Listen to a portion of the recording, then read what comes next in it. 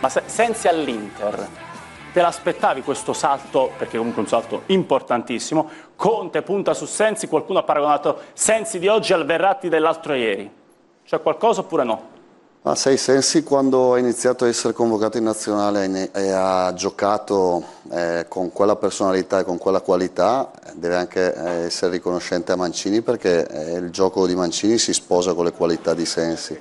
Probabilmente ha dimostrato ancora di più, eh, qualora ce ne fosse stato bisogno, che poteva essere a livello di una squadra importante come l'Inter.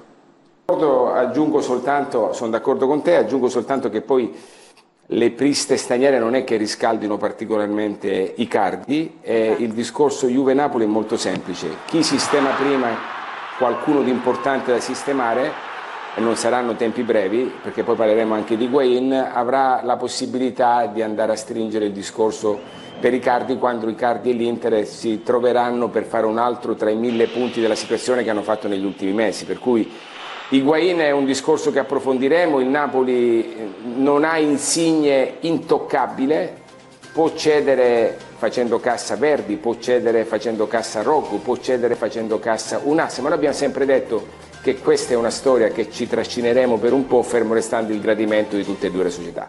Questo è l'attacco di Conte che sarebbe in questo momento davvero molto interessante, anche se Icardi eh lo vorrebbe fuori dalla grafica. Se vedete il televisore, prendete Icardi, spostatelo sì, facciamo... verso destra, perché Conte non lo vuole neanche vedere in fotografia, invece costa. si tiene Lautaro... Com'è? Lukaku costa però. Eh. Costa, capito, cioè, ma ragazzi, quali soldini li spenderai? 80 milioni voglio. Capito, ma sono nessuno ragazzi, adesso possono fare il mercato. Geco risparmi qualcosa, Lautaro Martinez sì. ce l'hai e poi devi prendere capito, un quarto però centrocampo devi sistemarlo, non va bene come il centrocampo adesso dell'Inter, qualche nome lo devi prendere, c'è da fare Nangolan, bisogna capire cosa mm. succede a Nangolan, cioè non è proprio così. Su Nangolan volevo... Scusami Alfredo, non volevo, scusami, no, no, non volevo no, anticipare, per l'amor di Dio. Vai, vai. Dacci le notizie, era l'opinione della Marchetti, tu ci dai le notizie, vai. No, eravamo sul Milan e abbiamo visto l'Inter, partiamo eh, dal capito, Milan, ripartiamo dall'Inter. fai tutto una madonnina, dai. Sotto la madonnina Ma vale faccio tutto. tutta la madonnina. Allora, per quanto riguarda l'Inter, eh, io adesso non voglio contraddire i colleghi che hanno scritto di, di, di, di Vidal, perché a me non risulta